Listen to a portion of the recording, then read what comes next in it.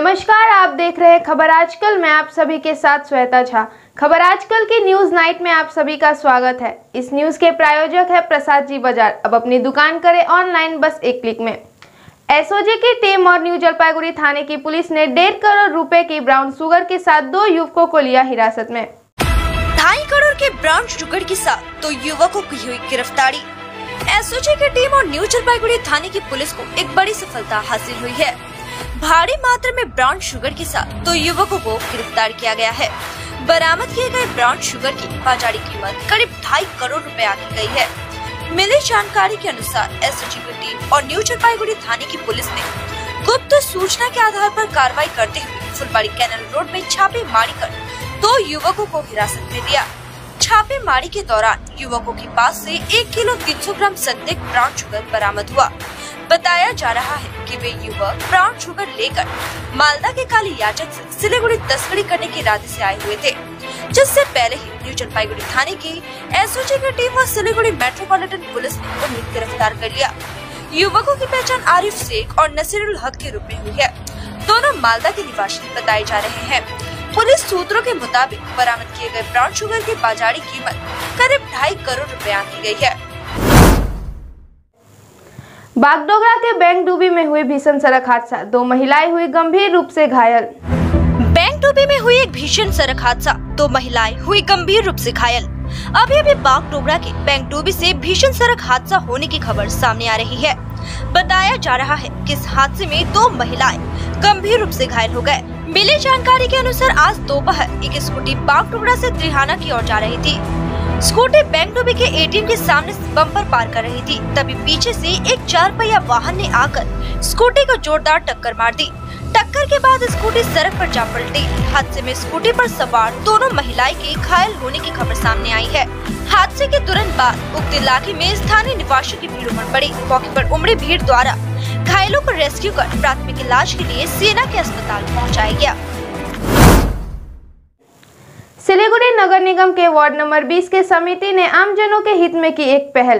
Plastic बोतल व wrapper के बदले दिया जाएगा एक किलो चावल। नगर निगम के वार्ड नंबर 20 की समिति ने आमजनों के हित में की एक पहल।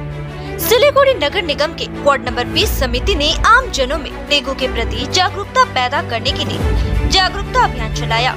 यह जागरूकता अभियान आज नेताजी हाई स्कूल के सामने से शुरू हुई इस अभियान में ब्लीचिंग पाउडर और मच्छर मारने वाली दवाइयों का छिड़काव भी किया गया। इस बीच पार्षद अभय बसु ने पैकिंग प्लास्टिक की बोतल और चिप्स के पैकेट के बदले लोगों को एक किलो चावल देने की घोषणा की। आज पार्षद अभय बसु ने कहा कि वार्ड नंबर 20 का बड़ा हिस्सा गरीबी की रेखा से नीचे जीवन यापन करता है। इसलिए उनके लिए यह योजना बनाई गई है। अगर वो प्लास्टिक के बोतल और रैपर देते हैं तो बदले में उन्हें एक किलो चावल दिया जाएगा।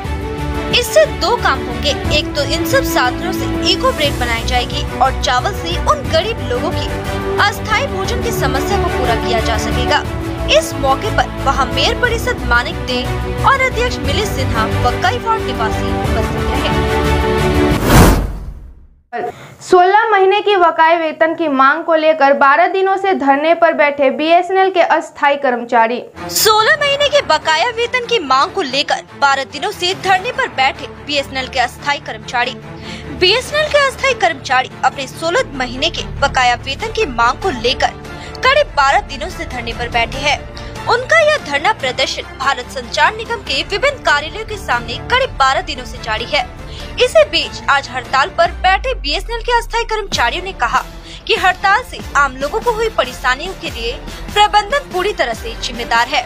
उनकी शिकायत है कि उन्हें उनके 16 महीने के वेतन का भुगतान नहीं किया गया।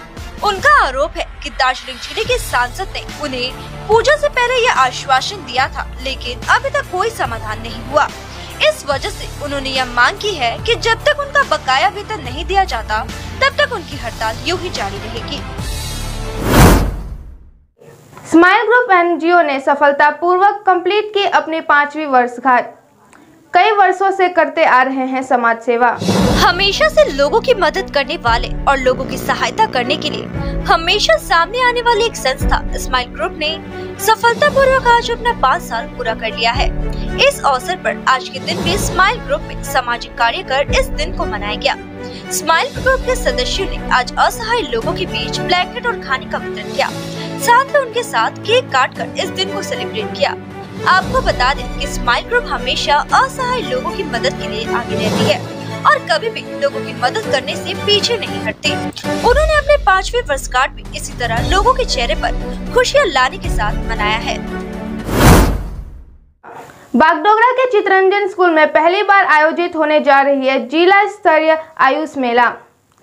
यह मेला तीन दिनों तक चलेगी। पहली बार बाग टुकड़ा के चितरंजन स्कूल में जिला स्तरीय आयुष मेला का आयोजन होने जा रहा है। बताया जा रहा है कि यह मेला तीन दिनों तक चलेगी।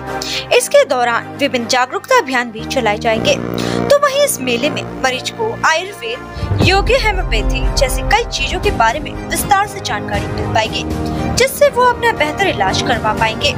आपको बता दें कि यह मेला कल दोपहर करीब एक बजे से शुरू हो जाएगी। इसे लेकर बागडोगरा के चितरंजन स्कूल में तैयारी अंतिम चरण पर है। तो वहीं तीन दिनों तक चलने वाले इस मेले में लोग आकर अपना इलाज भी करवा पाएँगे। अभी तक आप देख रहे थे खबर आजकल। आगे की और जानकारी के लिए देखते रहें खबर आजकल और बने रहें खबर आजकल पर। धन्यवाद।